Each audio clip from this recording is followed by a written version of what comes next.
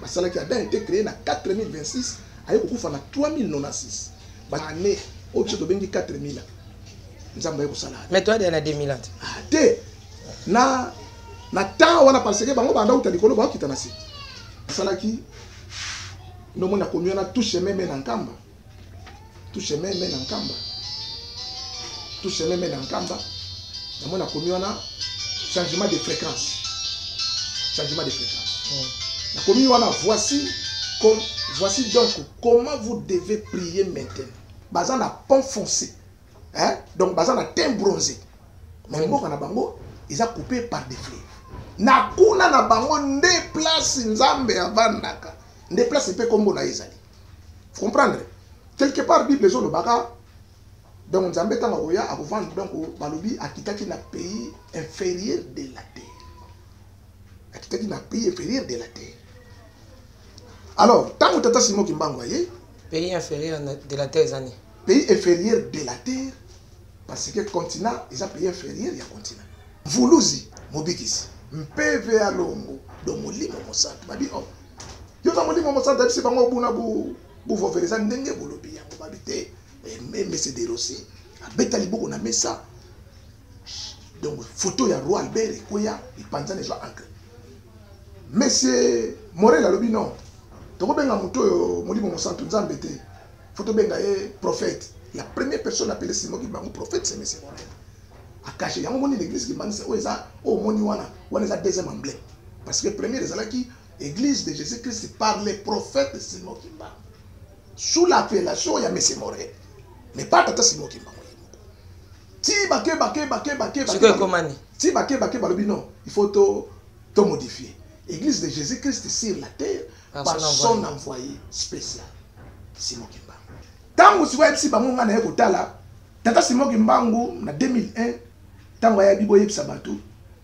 Tata Simon Kimbangu aza molimo mosantu boyebisa bato Simon Kimbangu molimo mosantu prédication oyo nga nazwaki nayebisa bato moto mwinda auta wapi Tata Simon Kimbangu molimo mosantu oyo eza de la part de Tata Simon Kimbangu molimo mosantu prière prière oyo très peu qui est en kamba que ton nom soit sanctifié ton règne a été déjà venu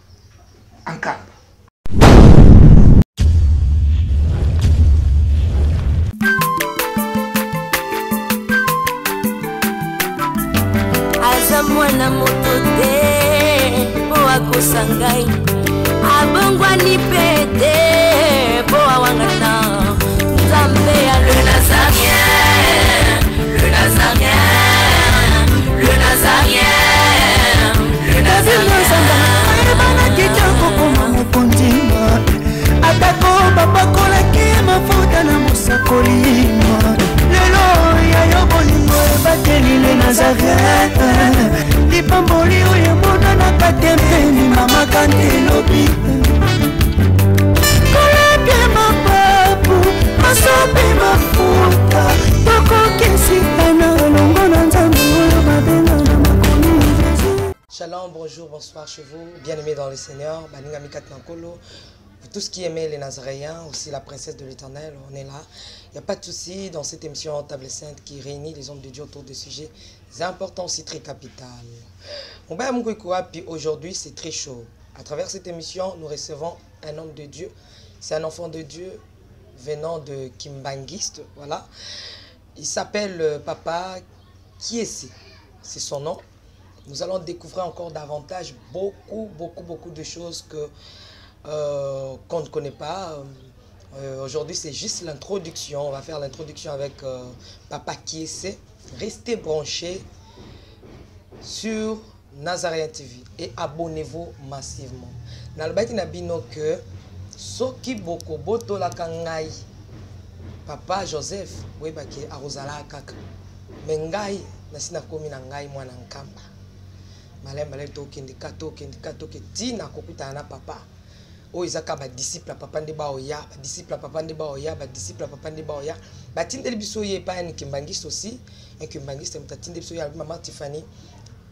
likolo ya papa joseph to mpe mpe na papa joseph bakisa lisusu boyebi oyo parce que bible elobi vous connaîtrez la vérité la vérité vous affranchira ngai nao nayokaki te nakotya bacommentaire ebele te bino nde bokoyoka na matoi na bino boyeba tempo nini oyo azobetela eske makambo oyo azobeta oyo eza yango to eza yango te eske aza ya kote to parce que boyebi ke ab ah, émission oyo ebetamaka ya kimbangiste ese endimama donc il n'y a pas encore quelque chose à prouver oh non non esi endimama oyo oh, sikoyo eye eza ya sika est ce que eza yango to eza yango te bagout danger to bagout danger te c'est à vous donc euh, avant toute chose rendons grâce à dieu à travers ces cantiques et on se retrouve là tout juste après régie à vous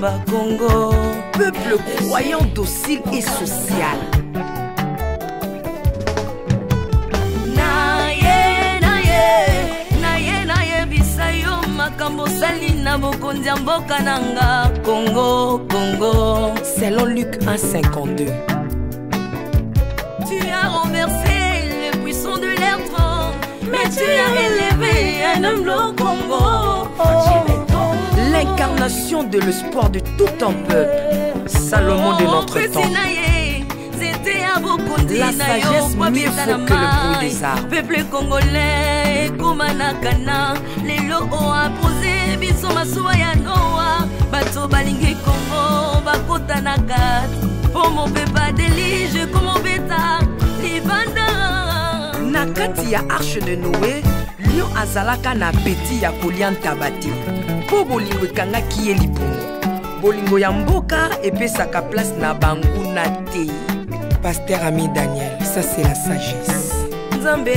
nzambe na kimbangu le prophète de l'éternel en afrique nzambe na bantoma apôtre léopold nzambe nzambe ya baroi la prophétesse liliane ester tayo parce que motu koyebaka no motu aza na 20 ans puse oyebi mbula abotamaki oyebi mbula abotamaki na mbula akufaki oyebi kena motu oyo asalaki mbula boye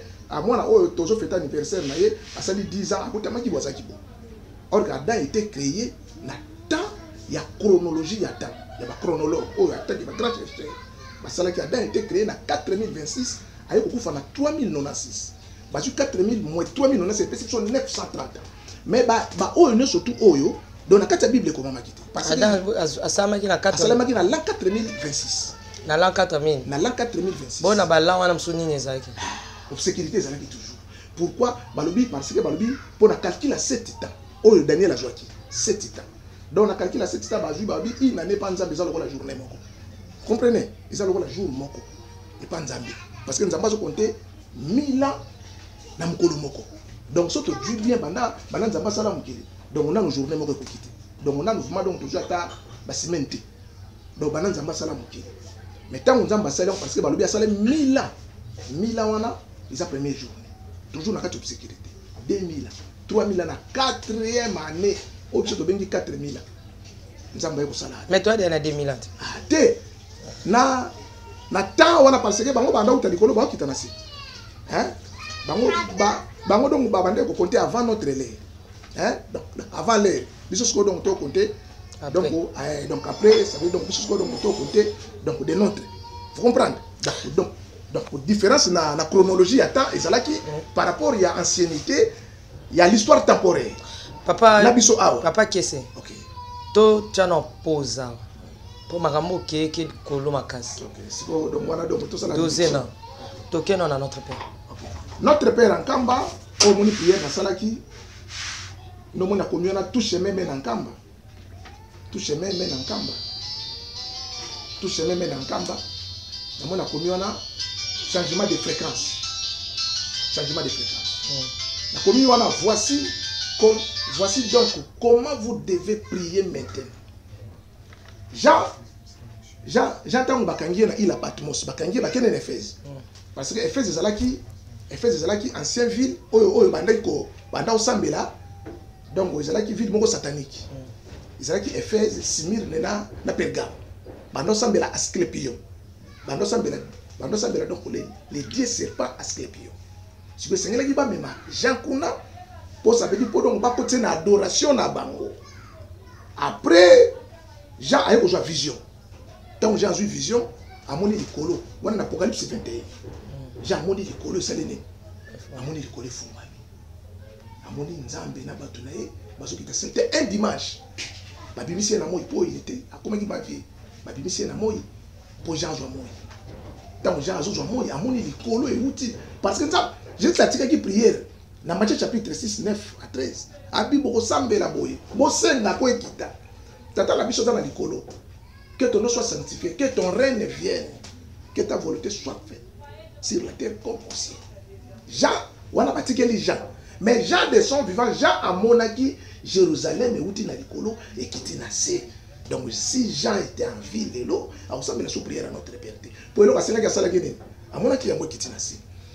Na 1956,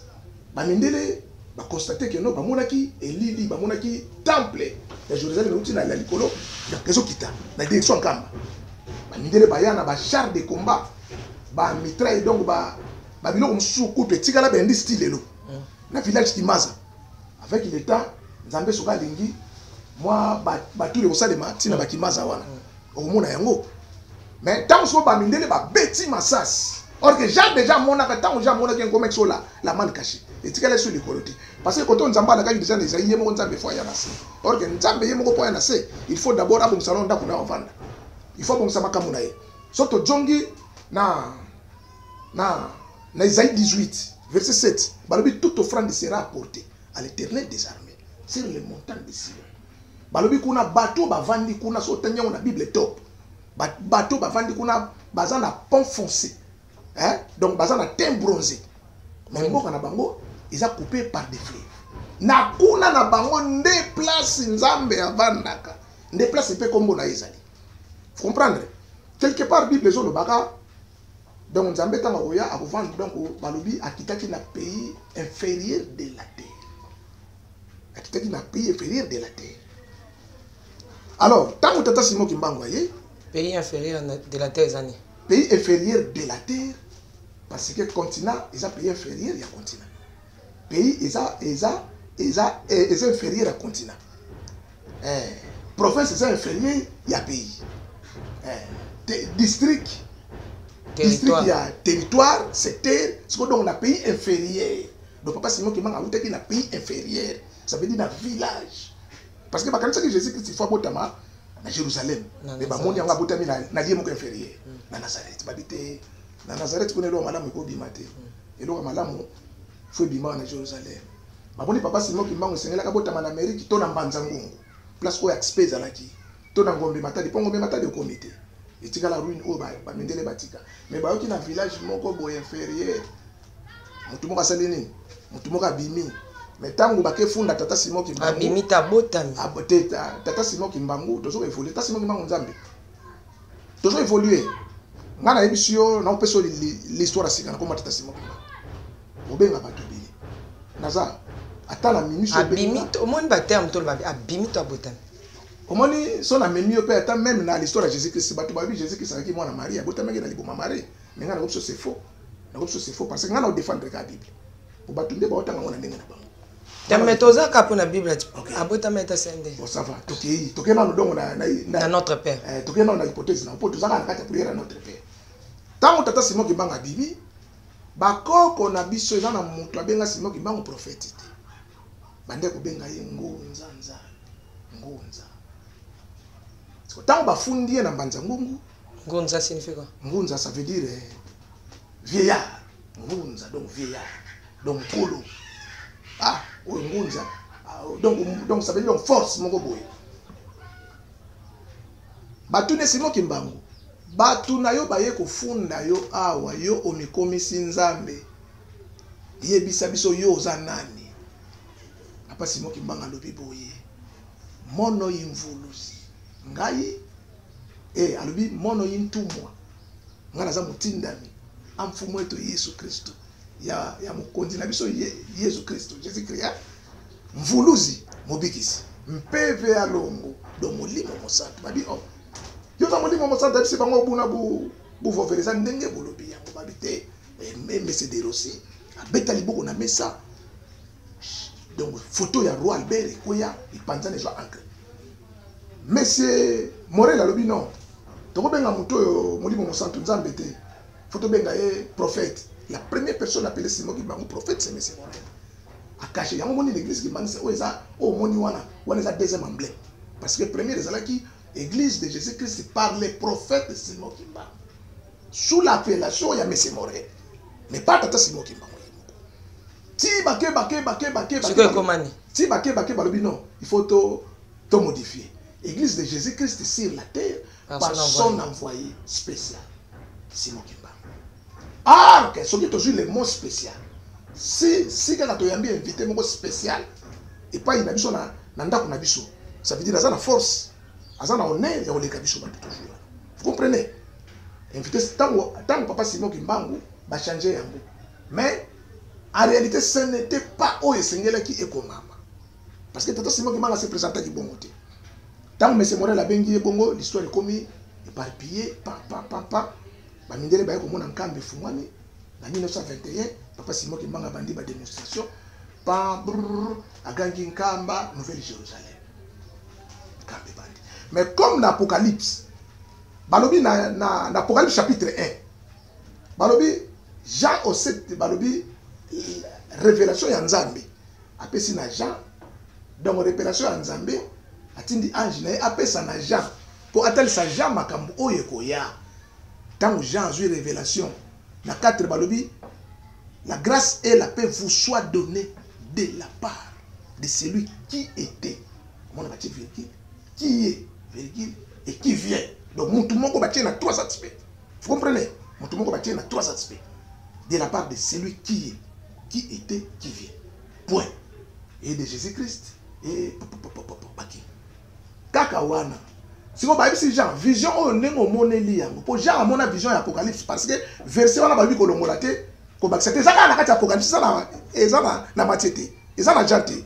eza na hebreu te eza kaka na kati ya apocalypse mais sikoyo jean na apocalypse babisi jean Ndenge omoni makambo oyo, mpo Jean amona Jerusalem ekita, amona Satana mpe ndenge akita na se. Bayebisi ye ndenge omoneli yango kolongola te, kobakisa mpe te. Ça veut donc Jean amona Jerusalem ekita alongola te. Donc bato oyo bazolongola eza bato nde baosambela notre mpe qui est soucie. Bango nde bato bazobakisa. Vous comprenez? Mais soki otangi vision wana Avant okoma na place oyo balobi kolongola te kobakisa te. Kasi tanga ti makambo nini oyo bato ba bato donc bakolongola te. Mais Jean amonaki Jerusalem ekitaki na se. Parce que ntango donc Jean ake kuna na ntango donc Jean ake kuna bayemaki ye mpo na adoration ya Asclepion. Mais Nzambe aye kolakisa biso ete biloko wana te tala makambo ndenge ekozala. Nga moko Nzambe nakoya. Parce que kuna alaki ke nga moko nakoya kombo na ngai ekozala Emmanuel. Jésus-Christ alobi nakeyi natiki bino pamba te naza na bino awa jusqu'à la fin du monde naza na bino awa wana alaki na matye 28 ntango asekwi ayesi bayekoli na ye tokuta na place boye ntango baye kolanda ye ayebisi bango bokende bobatize bango na nkombo ya tata mwana molimo santu me naza na bino ti na suka ya mokili okay. comprene ayebisi bango ntango sikoyo ayebisi bango ngai naye kotala tata simoki mbangu na 2001 Tango ayabi boyebisa batu tata Simon Kimbangu aza molimo mosantu boyebisa batu Simon Kimbangu molimo mosantu predication oyo nga nazwaki nayebisa batu mutu mwinda uta wapi tata Simon Kimbangu molimo mosantu oyo eza de la part de tata Simon Kimbangu molimo mosantu prière prière oyo parce que faut toyebisa batu tata Simon Kimbangu etant que chercheur indépendant en histoire des origines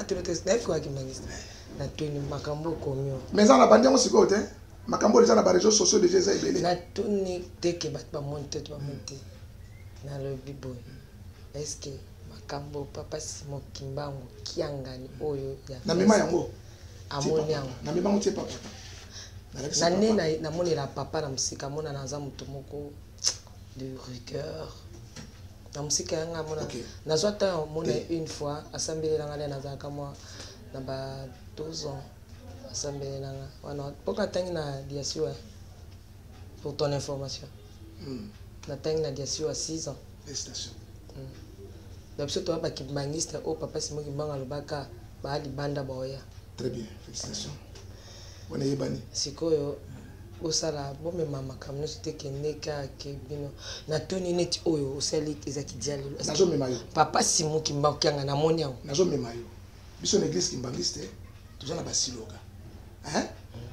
ntango bato batuni biso beto bien torepondaka bien toza na nzambe na biso avandaka wapi na ngambo batuni biso eza na siloga moko biso tobwaka toza na nzembo moko toyembaka na eglise kimbanguiste c'est pas par hasard toza na nzembo moko toyembaka na eglise kimbanguiste Nzembo wana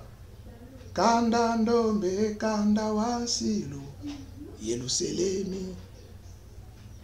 bon po na kikongo hein naza nango mate mpo nga nabeta flite naza nango vraimen nanu na limite eh. alobi kanda ndombe donc libota ya bayindo eza libota ya elaka donc jérusalem nzambe oyo nzambe alakaki biso yandi wazola batekakemba Prete ya Afrika, Afrika wa baka ndambo tatu alingaki bato liboso boye bazala nao boye apres na suka baafricain bakozwa troisième partie na bango na refrain ya nzembo oyo omona bazoyemba yango mono isedia yiswe eza nzembo mpo alingenda na osenga mingi donc mono isedia yiswe ça veut dire na, na lingala ngai tata ya jésus christ C'est pourquoi livre na nga na salaka na koma Simon Kimbangu, le véritable père de Jésus-Christ. Parce que ba mindele ba mona photo ya tata Simon Kimbangu na Jésus-Christ makambo. Ba mona ba tuni yo za yo yo za nègre na Christ bo na Christ bo kutanaki na ye wapi? Tata Simon Kimbangu asalaka démonstration na kombo ya Jésus-Christ. Bato balamuka bato bamona nzembo wana a demontra que c'est lui le père alors ntango ye aza père mais avandi na kamba soki batuni nga ata sima kimanga aza nani aza nzambe e votre die eu nakobisa bango nini notre père anka ankamba bon ntango siko biso siko donc ntango alobi ke likolo eutaki na likolo ekitaki nkamba nouvelle jérusalem eutaki na likolo ekitaki Selon Apocalypse, balobi tango tango Jerusalem ekitaki, Nzambe ye moko akitaki na bato na ye, akitaki na bato na ye. Papa kisi nga tuni ete eh, papier oyo oh, ozolakisaka papa Simon Kimagera papier oyo oh, omoni nasali oyo oh, elukela ngai problème dans ce sens comment bato balobaki non il faut pas tofalsifie bible mais nga naza lecteur ya bible ngai nalandaka bible eluki yako problème wapi ok bayebi na nga non nalingi na changer bible or que soki nga nalingi na changer bible ntango bato balingi bakritike nga nalingi na changer bible non moto oyo azo changer bible il faut alongwa omonaa bon parmi bato na biso kaka oyo nga nayebi nakotanga nkombo na bango te non non nazo baévolue nazwi yango hmm. nazwi yango parce que on peut pas citer le nom de chef Mm, parce que chef bokoki ko exposer ete mm. comprendre mm. kuna eza na bachef ya kimbangiste eh, batelemelaki oyo eza wana eza entre parenthèse nazwi yango nayebi démarche nini oyo nga nasalaki me ntango nake eza na bato ebele oyo oh, lelo eza na bakimbangiste ebele bayebi ke priere oyo eza boye oh, ebele bakomona bake ofalsifie bible yo osalani ah, nga nasi bango bo me tozwi cri awa boyebisi biso ebeto bien torepondre bien toza na nzambe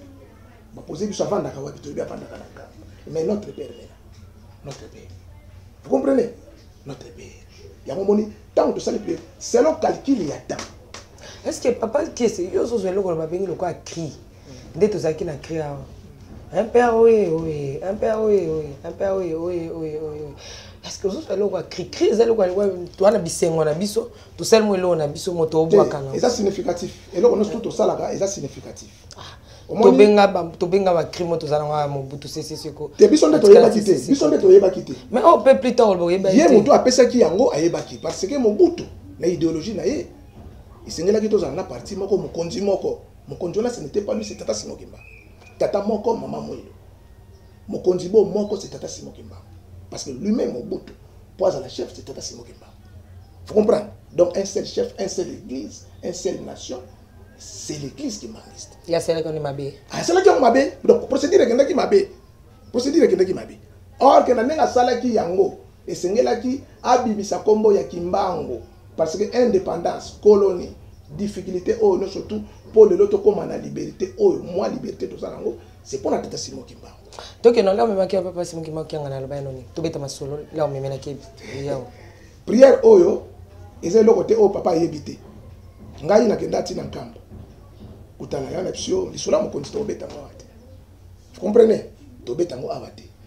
prière oyo omoni soki moto aza kimbangiste akonteste na prière oyo tena akomi te donc papa moto apesaki accès obima tena akomi te te natuni papa moto apesaki accès obima nango libanda na se bato obeta na masolo accès papa akopesa nga accès na mokanda te na maloba akopesa nga accès na mokanda te na maloba biso soki tokei na nkamba ntango tokomaka na nkamba papa alobaka boye oyo aza na besoin ya likambo ntango azokoma na nkamba il faut asambela na mozole ça c'est la vision oyo longo eza vision nga nazwa vision oyo eza vision nazwa bazotalisa nga ke nzambe avandaka na nkamba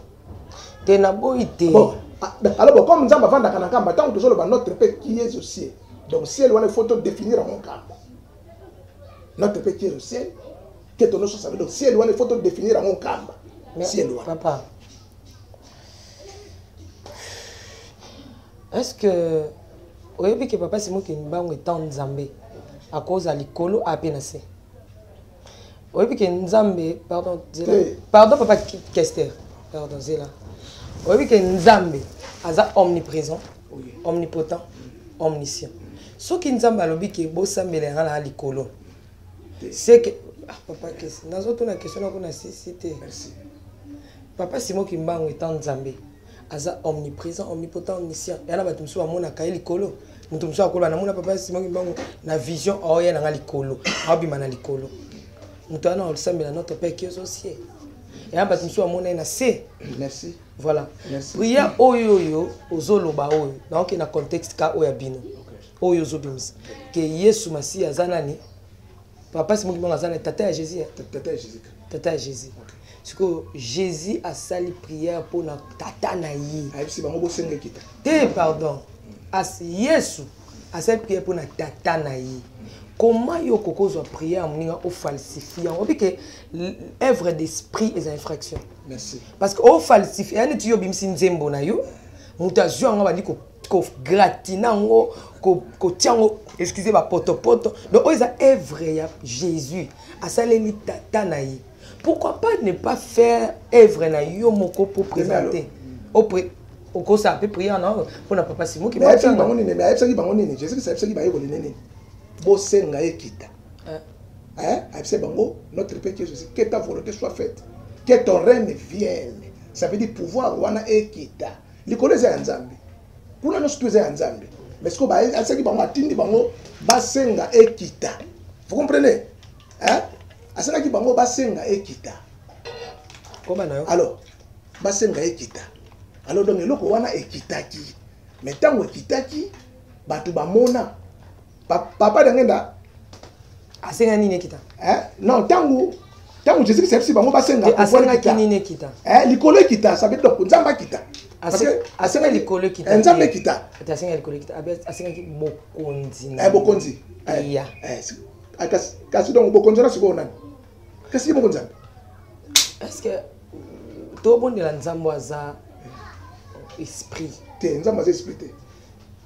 en réalité dans l'homme esprit eza ya nzambe zano en réalité dans l'homme c'est l'esprit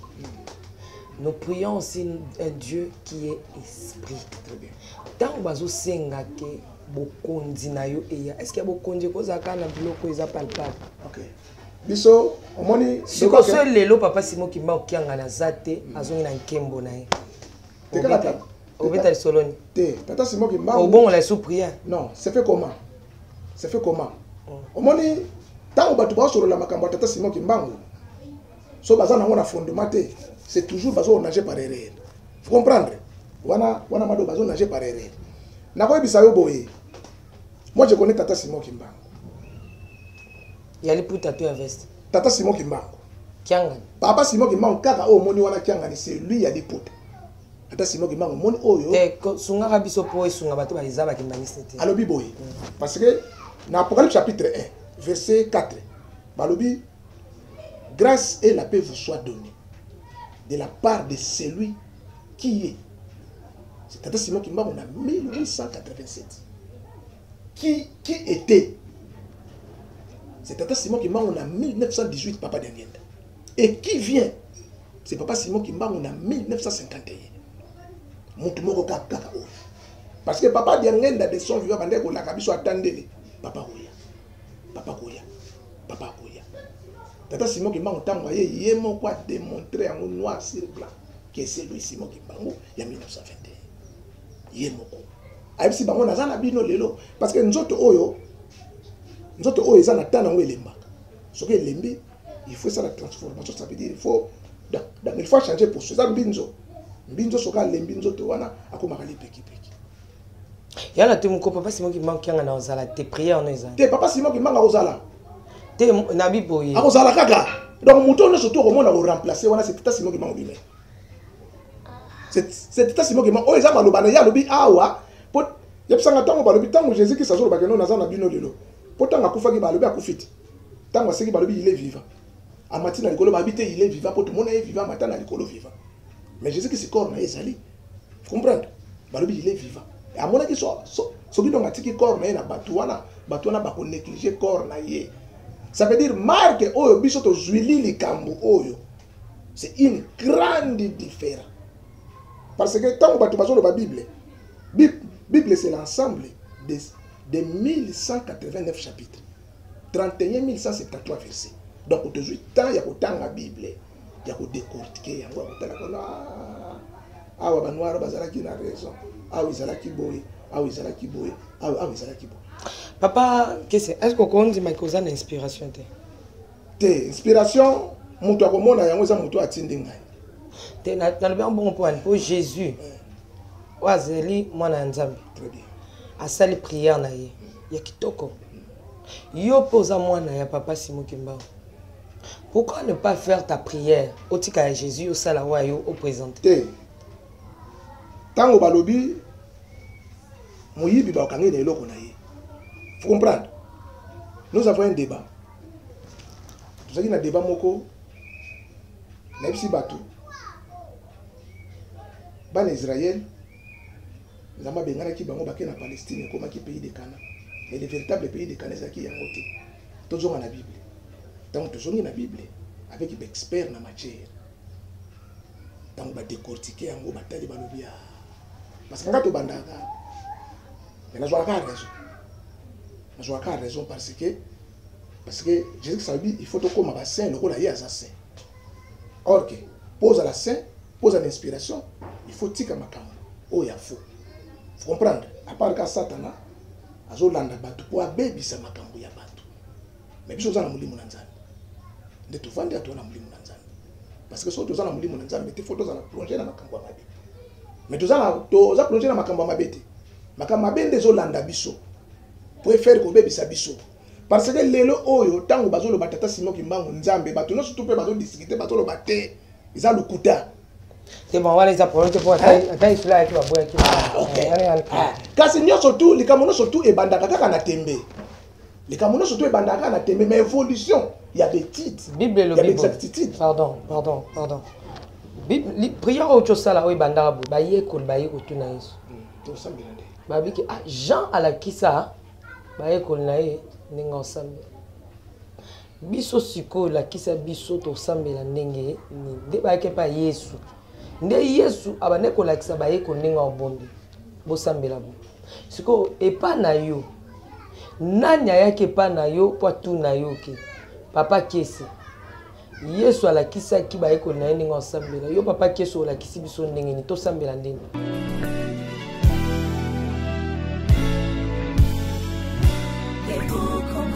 kongo longola loboko na litama bangusa mai na miso tika bisengasenga ya kolula bikolo mosusu pesa felix antoine tshisekedi maboko mpo totonga mboka na biso kongo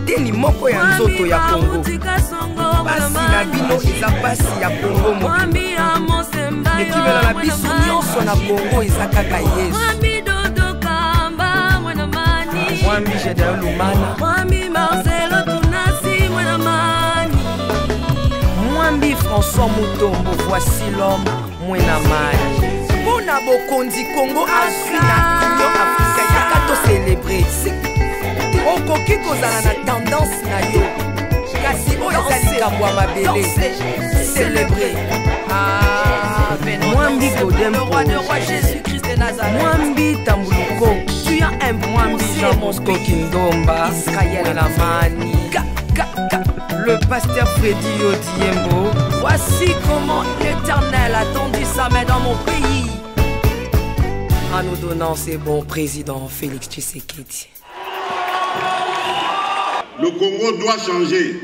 parce que vous avez un beau pays. Et je vous fais le serment que d'ici la fin de mon mandat, vous allez voir un Congo nouveau,